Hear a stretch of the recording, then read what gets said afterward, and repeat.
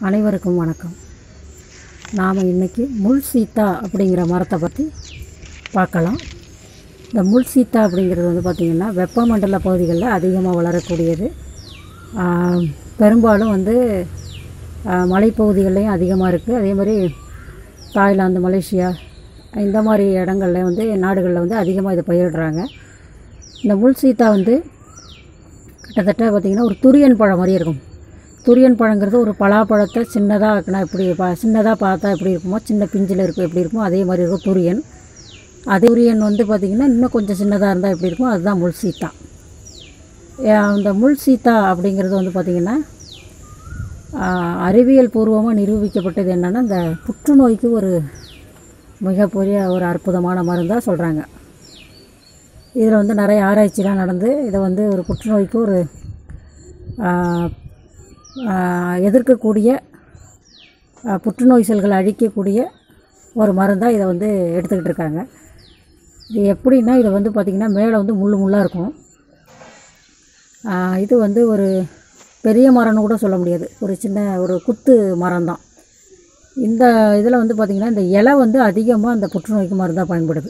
அதாவது முதல் இரண்டாம் மூ மூ- இரண்டாம் கட்டம் வரைக்கும் உள்ள அந்த முதல் நிலை இரண்டாம் நிலைன்னு சொல்கிறாங்களே புற்றுநோயில் நான்கு நிலை சொல்லுவாங்க. அந்த இரண்டாம் நிலை வரைக்கும் நம்ம ஆரம்ப கட்டத்திலே இந்த புற்றுநோயை வந்து பார்த்துட்டோம்னா உடனே இந்த முள் சீத்தா இலைகளையோ பழங்களையோ கொடுத்துட்டு வந்தோம்னா கண்டிப்பாக வந்து அந்த புற்றுநோய் செல்களை அழித்து அந்த இடத்துல வந்து உங்களுக்கு மற்ற பகுதிகளுக்கு பரவ விடாமல் தடுக்கக்கூடிய ஆற்றல் இந்த முள்சீத்தா இலைகளுக்கு இருக்குது இதை வந்து நம்ம எப்படி எடுத்துக்கணும் அப்படின்னு பார்த்தீங்கன்னா இந்த இலையை வந்து ஒரு அஞ்சு இலை எடுத்து ஒரு கால் லிட்டர் தண்ணி வச்சு இந்த இலையை சின்ன சின்ன இதை பிச்சு போட்டு கால் லிட்டர் தண்ணி வச்சு ஐம்பது எம்எலாக வத்த காய்ச்சி காலையில் வெறும் இதில் குடிச்சிட்டு வந்தோம்னா இந்த புற்றுநோய் செல்களை அழிக்கும். இது வந்து நிரூபிக்கப்பட்ட உண்மை. அதனால் வந்து ஆரம்ப கட்டத்தில் புற்றுநோய் இருக்குது அப்படின்னு வந்து அவங்களுக்கு தெரிஞ்சிருச்சுன்னா இதை தொடர்ந்து எடுத்துகிட்டு வரலாம். எடுத்துகிட்டு வந்தோம்னாக்கா அது பரவாமல் தடுக்கும். இது ஒரு அற்புதமான புற்றுநோய் நிற்கக்கூடிய ஒரு அற்புதமான மருந்துனா இந்த முள் சீத்தா. இது வளர் வளர்க்குறதுங்கிறது ரொம்ப ரொம்ப சுலபம். இது வந்து அதாவது என்ன சொல்கிறதுனா வெப்ப பகுதிகளையும் வளரும் குளிர்ச்சியான பகுதிகளையும் வளரும்.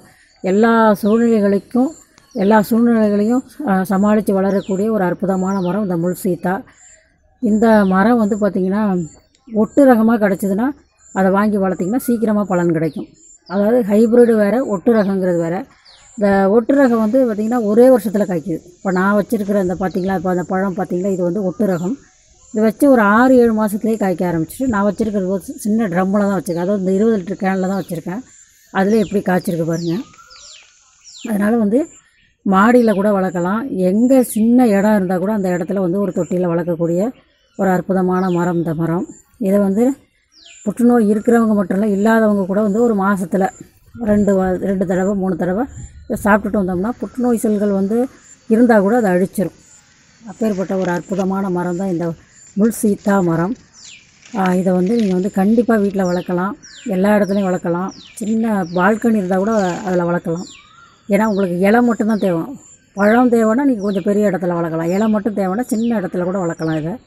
வளர்த்து இந்த கடுமையான தீர்க்க முடியாதுன்னு சொல்லக்கூடிய இந்த புற்றுநோய் அழிக்கக்கூடிய இந்த அற்புதமான இந்த முள்சீத்தா மரத்தை வளர்த்து ஆரோக்கியமாக வாழணும் அப்படிங்கிறது என்னோடய நோக்கம். இது நம்ம கிடைக்கும். அந்த ஒட்டு ரகமும் கிடைக்கும் நாட்டு ரகமும் கிடைக்கும். எந்த விதமான மரக்கன்றுகளும் பழமரக்கன்றுகளும் அபூர்வ வ- வகையான மூலிகை செடிகளும் சஞ்சீவி மூலிகைகளும் அதே மாதிரி பாரம்பரிய மரங்கள் அப்படிங்கிற அந்த காட்டில் வளரக்கூடிய மரங்களும் எல்லாமே நம்மக்கிட்ட கிடைக்கும். நீங்கள் வந்து கண்டிப்பாக நம்மக்கிட்ட வாங்கி பயனடையலாம். நன்றி வணக்கம்.